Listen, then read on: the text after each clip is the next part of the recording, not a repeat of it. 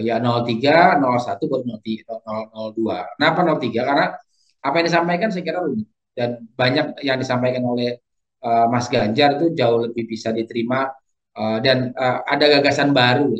Nah, saya kira uh, perdebatan uh, Pak Anies dengan uh, Pak Prabowo itu justru perdebatan yang sebenarnya buat saya tidak menguntungkan buat kita. Pertanyaan Mas Anies berkaitan dengan uh, apa Kementerian Pertahanan misalnya atau pertanyaan Mas Anies berkaitan dengan misalnya posisi geopolitik Indonesia gitu, itu tidak dijawab secara gamblang dengan pengalaman Pak Prabowo. Pak Prabowo ini saya lagi saya bilang semua kalau uh, dirahasiakan itu sekarang saya kira udah orang terbuka karena karena dinamika politik hari ini uh, demokratiknya jauh lebih maju dan publik punya hak ya sekali lagi saya bilang publik punya hak untuk mengetahui apa yang negara atau pemerintah rencanakan uh, apa namanya uh, pengalaman informasi dan data untuk Pak Prabowo. Dari tiga calon ini dari nomor satu nomor dua nomor tiga dari debat satu sampai tiga memang Pak Ganjar Pak Mahfud jauh lebih ini ya lebih kreatif ya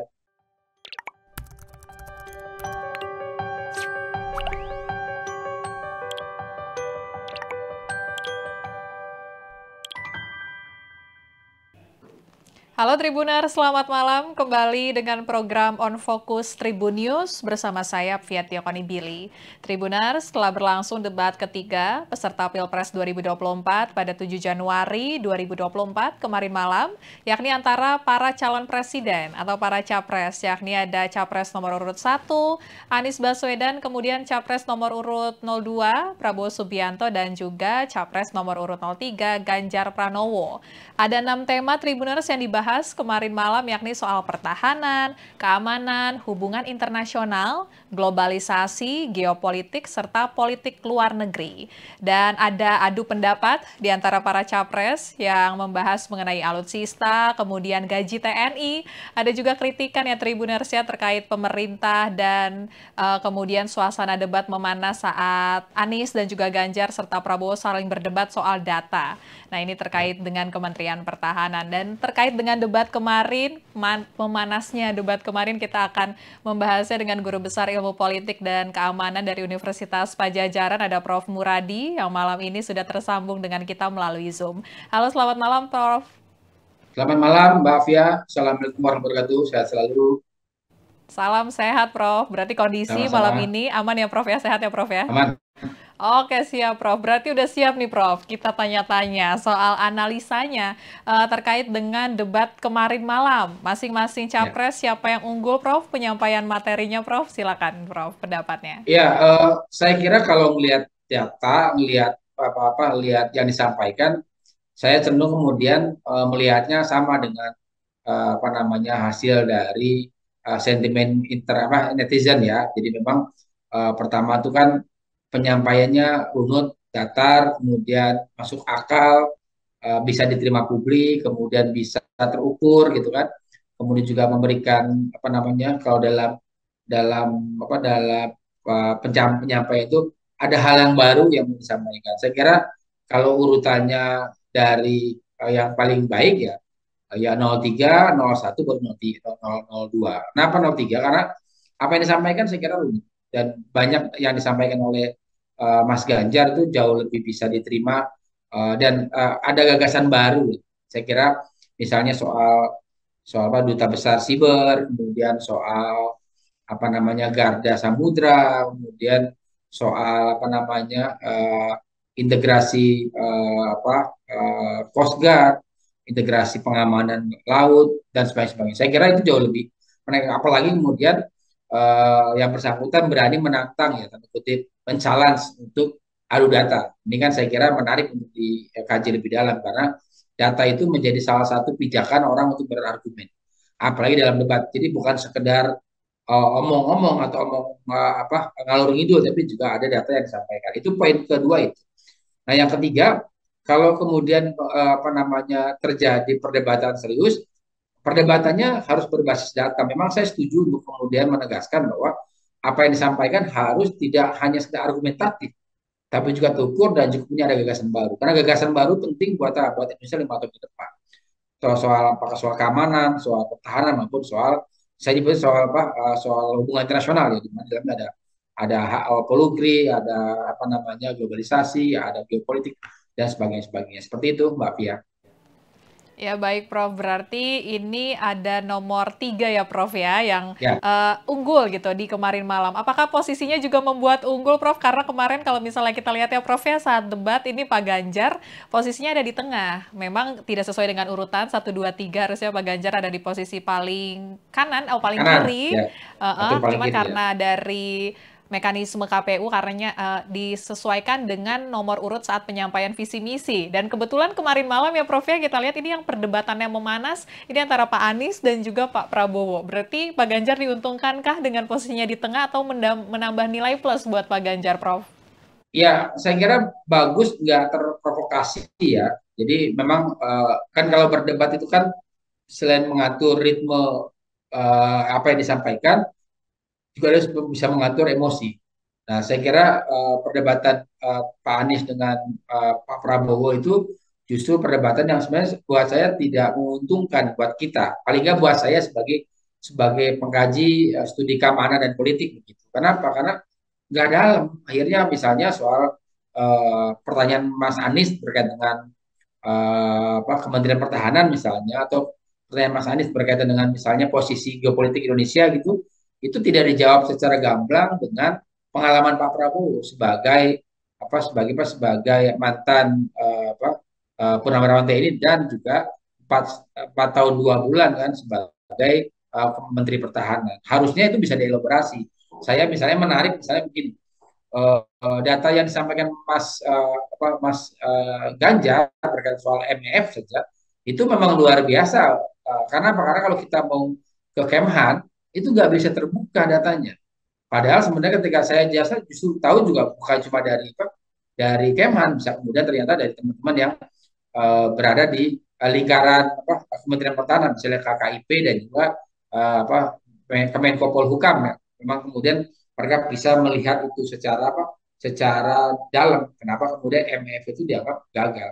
Dan saya kira apa yang disampaikan Mas Gajah berkaitan MF ke Pak Prabowo itu adalah data yang valid. Karena karena faktualnya Pak, Pak Prabowo juga baru selama empat tahun baru tiga kali pembelian ya pengadaan. Itu juga saya kira perlu di, disampaikan ke publik. Pengadaan yang disampaikan ke Pak Prabowo tidak menyentuh uh, uh, apa esensi sebagai bagian dari tata kelola apa uh, kebijakan uh, politik pertahanan kita gitu Mbak Fia. Ya Pak, dan terkait dengan perdebatan itu malah Pak Prabowo mengajak uh, empat mata bertemu gitu ya Pak ya. Nah ini lumrah nggak sih Prof dalam proses pemilu 2024 sampai ngajak ketemuan gitu Prof? ya boleh nih, tapi kan nggak ada nggak ada urgensinya.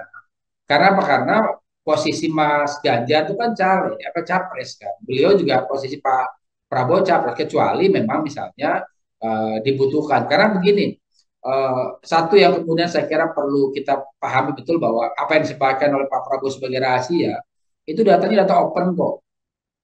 Hanya kemudian karena pemahaman kita, pemahaman di internal mungkin teman-teman internal uh, Kementerian Pertahanan ya, akhirnya seolah-olah itu ada rahasia. Contoh begini Mbak Fir. Ada misalnya di undang-undang apa undang-undang apa apa uh, informasi terbuka ya, kebebasan informasi terbuka itu kan uh, apa namanya uh, ada yang terbuka dan tertutup. Nah yang disampaikan Mas Ganjar itu data-data open kok. Hanya kemudian kita nggak bisa akses kenapa? Karena ada pemahaman yang berbeda yang tidak sama berkaitan dengan uh, esensi demokrasi. Kalau contoh misalnya uh, apa namanya eskalasi atau progres MF itu harusnya terbuka. Atau misalnya kemudian dana dana apa pembelian rencana pembelian misalnya uh, mirage gitu kan. Kenapa ditunda? Publik harusnya paham. Kenapa publik uh, butuh tahu kenapa karena uang ini uang publik dan itu dimungkinkan karena di undang-undang itu tidak termasuk yang dikecualikan untuk dibuka. Jadi saya sih merasa bahwa uh, asumsi bahwa seolah-olah tertutup itu itu karena kalau saya nyebutnya nih Mbak ya, Mbak Pia sebutnya adalah uh, Pak Prabowo mungkin uh, kelompok yang old school dalam kajian studi keamanan. Old school itu artinya apa? Seolah-olah negara membatasi padahal ada kemudian kalau kita bicara soal apa soal teori uh, konsep uh, itu menjadi hak publik untuk diketahui. Kenapa? Karena apa yang dilakukan oleh Pak Prabowo yang hampir 700 triliun selama 4 tahun uh, dua bulan ini uh, itu dananya dana dari uh, apa namanya dari dari pajak publik wajib tahu kecuali memang ada yang di, di apa namanya di itu dikecualikan. Contoh gini, rencana misalnya pembangunan uh, apa namanya uh, apa, apa katakanlah uh, uh, sandaran kapal selam di teluk misalnya di teluk di teluk apa di teluk Palu misalnya. Kalau rencananya nggak perlu tahu, tapi bahwa kemudian misalnya setelah sudah tahu itu disampaikan publik bahwa dananya pengawal pembangunan kapal apa apa apa namanya pelabuhan kapal selam di Teluk Palu misalnya itu menghabiskan dana sekian dan kemudian uh, menggunakan uh, apa aja uh, fasilitas dan juga teknologinya. Tapi kemudian itu juga perlu di kenapa jadi penting? Perlu diawasi bagaimana mekanismenya. Nah ini yang saya kira perlu uh, saya pahami sebagai bagian dari Pak Prabowo ini saya lagi saya bilang semua kalau uh, dirahasiakan itu zaman zaman seperti ketika saya baru-baru mengkaji soal isu-isu apa studi keamanan ya. Tahun 2000-an awal bahkan tahun 99 gitu. Sekarang saya kira udah orang terbuka karena karena dinamika politik hari ini uh, demokratiknya jauh lebih maju dan publik punya hak ya sekali lagi saya bilang publik punya hak untuk mengetahui apa yang negara atau pemerintah rencanakan terkait dengan pendanaan uh, politik politik pertahanan maupun keamanan terkait penggunaan itu apa karena menggunakan dana dari masyarakat sendiri melalui pajak dan seterusnya dan seterusnya seperti itu, Mbak Fia.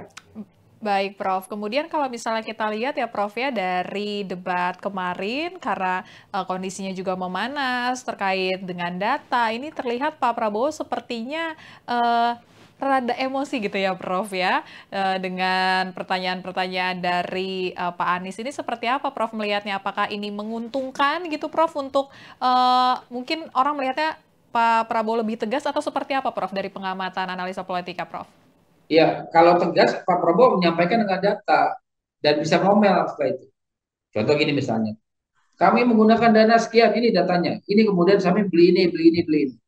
Jadi jangan jangan buat apa buat misalnya uh, informasi yang menyesatkan, tapi datanya ada. Ya kan ini enggak. Begitu kemudian didorong datanya, ya nanti kita ketemu empat mata. Enggak begitu, karena ini adalah hak, hak publik. Sekali saya bilang, ada yang terbuka, ada yang dikecualikan. Nah, yang disampaikan disebut rahasia ini menjadi menjadi rumit kenapa? Karena orang berasumsi ini yang dikecualikan itu adalah uh, semata-mata untuk kepentingan uh, orang per orang tidak. Bahkan kemudian kayak waktu saya riset uh, S2 S3 ya soal polisi dan uh, TNI gitu, ada beberapa yang kemudian nggak dibuka, tapi saya bisa akses. Nah, akses kenapa? Kenapa akses karena karena buat penelitian uh, apa apa namanya uh, uh, untuk kepentingan akademik gitu.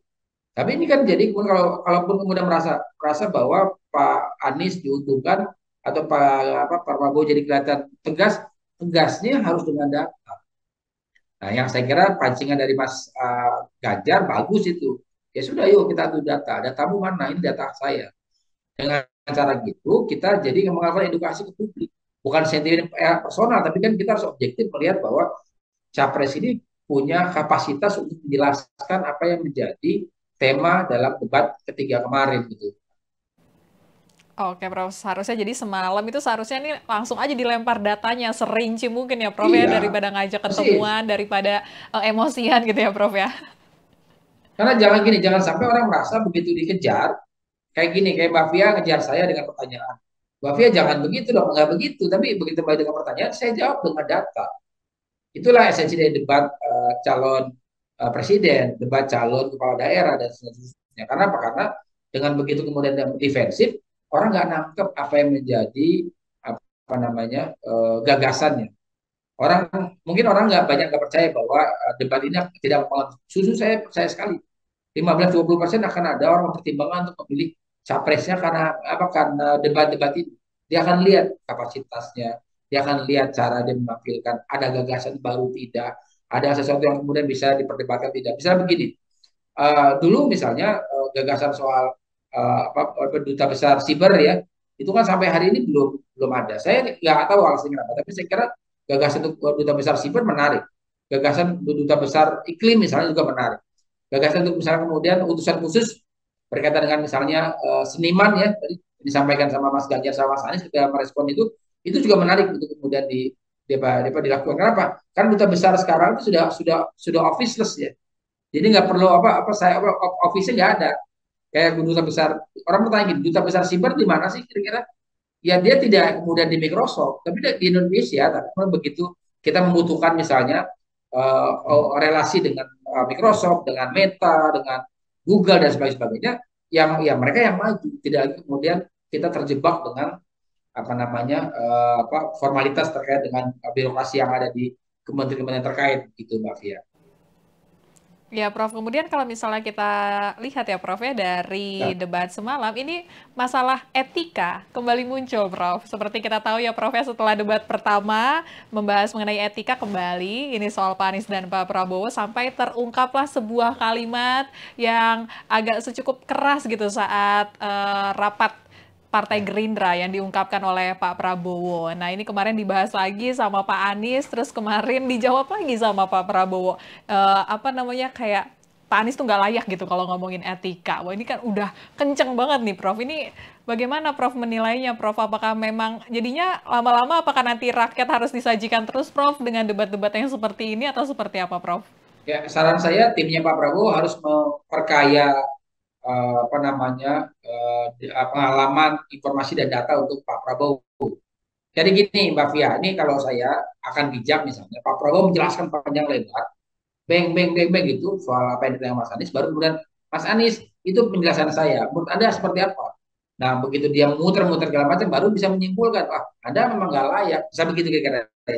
Tapi kan tidak, begitu kemudian ditanya, jawabannya apa justru kemudian mengarah pada personal attacker. Ya personal attacking ini ya saya kira nggak boleh. Uh, artinya kalaupun misalnya Pak Prabowo uh, jengkel dengan Anies gitu karena dia pernah jadi usulkan jadi gubernur dan sebagainya, tapi dia bisa menjelaskan dulu dulu perkara pertanyaannya. Saya kira itu kalau itu dilakukan, saya kira Pak Prabowo punya punya apa? Punya rikon yang baik ya terkait dengan sentimen publik. Kalau sekarang kan begitu kita bahas nonton yang disampaikan Prabowo itu kan uh, glorifikasi saja. Kan sayang sebenarnya. Kenapa? Karena orang saya sih berharap, berharap ya Pak Prabowo bisa menjelaskan soal bagaimana posisi apa uh, politik uh, geopolitik Indonesia terkait dengan postur pertahanan kita misalnya. Contoh misalnya gini, uh, dalam kajian saya gitu Mbak, kan ancaman perang tuh cuma ada dua sekarang itu di Asia Pasifik ya. Pertama Laut Cina Selatan, mungkin antara negara-negara berkonflik dengan Cina. Yang kedua adalah antara Cina dengan Taiwan yang sama-sama dibantu, dibantu oleh Amerika Serikat. Cuma dua itu. Nah dampaknya seperti apa? Itu yang saya kira Pak Prabowo bisa menjelaskan itu harusnya. Tapi saya tidak tahu kemudian apa, mendadak jadi emosi dan saya nggak mendapatkan pesan yang disampaikan harusnya itu tidak disampaikan oleh Pak Prabowo dengan bijak. Karena beliau kan orang yang tiap hari ber, selama empat tahun lah ya berkaitan dengan apa namanya peta, kemudian dinamika, updating terkait dengan ancaman yang ada dalam konteks Indonesia. Apakah langsung atau hanya dampak. Nah itu yang saya kira perlu di, disampaikan oleh Pak Prabowo, bukan oleh Mas Anies, oleh apa Mas Ganjar. Karena apa? Karena yang punya pengalaman, yang in charge kalau bahasa bahasa Inggrisnya itu adalah ya Pak Prabowo. Saya mungkin saya juga akan duga misalnya pertanyaan kenapa kemudian itu, itu tidak disampaikan Pak Prabowo tadi? Karena kadung emosi, kadung sudah marah dengan performa yang disampaikan Mas Anies. Pertanyaan memang lebih cenderung orang mengarah pada uh, apa uh, personal tadi. Saya kira gitu, Pak Pak Ya baik Prof. Kemudian tadi Prof juga sempat mention ya Prof dari debat ini sebenarnya ada 15 sampai 20 persen bisa menarik suara uh, masyarakat. Nah melihat debat kemarin Prof, ini bagaimana pandangan Prof sendiri Prof? Apakah uh, ini bakal kembali menarik suara-suara yang belum memilih dan termasuk juga Gen Z yang bakal dapat banyak gitu dok, uh, Prof maksud saya suara dari debat ini Prof? Ya uh, apa gimmick-gimmicknya uh, dari tiga calon ini dari nomor satu, nomor dua, nomor tiga dari debat satu sampai tiga memang uh, Pak Ganjar Pak Mahfud jauh lebih ini ya lebih kreatif ya. Apakah itu bisa akan menjadi apa menjadi uh, stimulasi untuk uh, mengambil suara teman-teman Gen Z atau kemudian yang belum memilih saya kira itu menjadi pertimbangan betul. Walaupun uh, dalam banyak kasus apa yang dilakukan oleh oleh tim Mas Ganjar maupun Mas apa Mahfud cenderung kemudian lebih me, apa, me, apa, me, tidak formalkan debat. Gitu. Coba perhatiin misalnya Mas Anies gitu kan pakai gas, pakai rapi gitu, Pak Prabowo dengan dengan seolah santai tapi sebenarnya uh, relatif tidak terlalu apa tidak terlalu apa, uh, menunjukkan hal yang baru. Gitu. Tapi kalau kemudian uh, ketika ketika apa, Pak Mahfud sama Mas Ganjar masuk itu kan ada sesuatu yang baru. Dia masuk seperti Top Gun, kemudian dia hormat, kemudian dipakai sebuah itu buat buat banyak anak generasi Z itu uh, sesuatu yang menarik sebenarnya. Tapi kan kita mau lihat sebenarnya apakah itu akan mempengaruhi walaupun kalau melihat dari sentimen netizen, Mbak, uh, sentimen netizen itu uh, hampir uh, 78 persen positif ke Mas Ganjar luar biasa ketimbang dibanding Anies maupun Pak Prabowo gitu kira seperti itu. Oke, Prof. Yang juga menarik perhatian dari debat kemarin, yakni saat Pak Ganjar banyak, oh maksud saya Pak Prabowo banyak sekali bersepakat gitu, menyetujui dengan statement-statement dari Pak Ganjar ini seperti mengingatkan dulu saat Pak Prabowo berversus dengan Pak Jokowi, Prof. Jokowi. Bagaimana analisisnya? Prof? Ya, ini kan kan begini, kalau saya eh, memahami ketika mereka bertiga membaca visi misi ya, itu kan posisi dari Mas Ganjar adalah perbaikan jadi melanjutkan dengan perbaikan. Sementara uh, posisi Pak Prabowo kan melanjutkan. Posisi Mas Anies adalah perubahan. Uh, kalau lihat dari apa dari dari punchline di awal kan saya kira uh, memang Pak Prabowo uh, mohon maaf ya saya bilang tidak punya uh, apa namanya saran ataupun gagasan baru yang dia sampaikan selama empat menit di awal. Saya beberapa kali nonton dari uh, pagi malam kan nonton kemudian paginya rekaman saya tonton apa aduh gagasan barunya tidak kelihatan. Justru kemudian berpijak hanya pada uh, apa yang dilakukan Pak Jokowi akan dilanjutkan. Nah uh, pemahaman melanjutkan ini juga harus bisa clear uh, Mbak Fia ya. Terutama misalnya kalau dilihat dalam posisi Pak Prabowo sebagai bagian dari pemerintahan hari ini. Artinya apa? Apa yang disebut dengan dengan melanjutkan itu? Apakah misalnya poros maritim dunia gitu ya itu gagasannya baik. Apa follow up-nya? Ternyata itu diambil oleh uh, Mas Ganjar dengan misalnya gagasan Garda Samudra. Itu follow up atau tidak lanjut dari uh, apa poros maritim. Atau misalnya soal gagasan mengembangkan uh, integrasi apa integrasi uh, keamanan dan, dan apa uh, pertahanan gitu kan. Itu kan saya menunggu sebenarnya. Misalnya apakah Pak Prabowo nyaman dengan uh, kondisi hari ini atau memang ada ada ada evaluasi. Nah ini, ini yang saya kira perlu menjadi penting. Kenapa kemudian uh, Pak Prabowo maupun Mas uh, Andi sama Mas Ganjar ya itu punya pembeda. Saya kira kemarin harus saya akui Mas Ganjar sudah bisa menjawab bisa memposisikan diri sebagai pembeda dengan Pak Prabowo. Minimal misalnya gagasan barunya follow up bukan kemudian apa yang sudah dikejar Pak Jokowi. Jadi Pak Jokowi, kemudian plusnya apa? Plusnya tadi ada beberapa gagasan baru. Misalnya uh, duta besar siber, kemudian apa namanya uh, apa beasiswa uh, buat buat apa buat anak-anak keluarga apa uh, Bayangkara TNI, kemudian misalnya sempat juga muncul misalnya kemarin itu adalah soal apa namanya bagaimana mengembangkan apa pusat kesehatan yang ada di apa di mana di apa di uh, lingkungan TNI Polri dan sebagainya sebagainya. Ini yang saya kira uh, kelanjutan dari apa yang disebut sebagai melanjutkan dengan perbaikan itu saya kira dengan yang disampaikan Mas Ganjar jauh lebih bisa bisa masuk akal dan diterima oleh publik ya.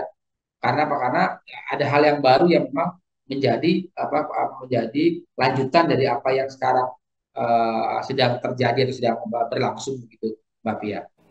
Oke, Prof. Nah, ini pertanyaan terakhir mungkin kita mau sedikit soal evaluasi ya, Prof. ya mengenai debat kemarin. Jadi awalnya kan ada empat tema, kemudian ya. ditambah dua lagi jadi enam tema. Tapi kalau misalnya kita melihat debat kemarin, seakan-akan ini pertahanan jadi yang paling utama dibahas ya, Prof. ya. Kalau padahal kita juga sama-sama menanti bagaimana dari gagasan para tiga capres ngobrolin mengenai hubungan politik. Seperti sekarang kita tahu banyak sekali ya. perang. Kita menanti bagaimana uh, usulan-usulan mereka soal perdamaian dunia dan ada juga yang belum tersentuh ya Prof ya mungkin ini soal keamanan ada uh, ancaman non militer juga yang mungkin tidak tersentuh. Nah ini Prof sendiri melihat debat kemarin seperti apa Prof secara evaluasi? Saya saya sebenarnya nunggu kemarin soal Kamdagri ya Kamar Dalam Negeri itu soal bagaimana tata kelola uh, keamanan uh, yang sifatnya beririsan dengan perbatasan. Kan itu ada ada misalnya contoh gini, ada ya pada pengembangan misalnya ada ada provinsi baru, ada rencana uh, pendirian Kodam baru,